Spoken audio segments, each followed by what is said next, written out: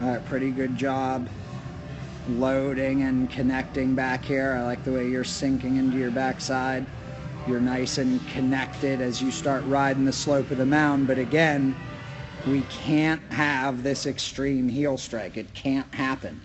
It cannot happen because watch what happens. Even though you got into a good load, into a good stride, even though your back hip is trying to release into rotation as you land, look at your front leg here as you roll from heel to toe.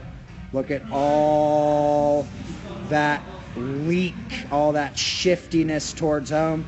All of this time you should be rotating to release and not flying open with that front side. You can see even as you get into the ground, you've created very little drive from your back hip rotation, so you're stressing your arm out it's working too hard and you're weaker than you should be at release right there, really start focusing on creating that good foot strike. Land on the ball of your foot, not on the heel.